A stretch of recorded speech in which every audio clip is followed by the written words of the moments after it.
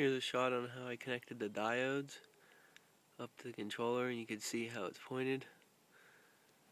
And this lead goes, this one's going toward the fan. I just checked the voltage on the battery and it's reading 12 volts. This tells me that it's charging. You can see there the, there's a green light coming from the solar panel. About 2 o'clock mid in the day, Sunday.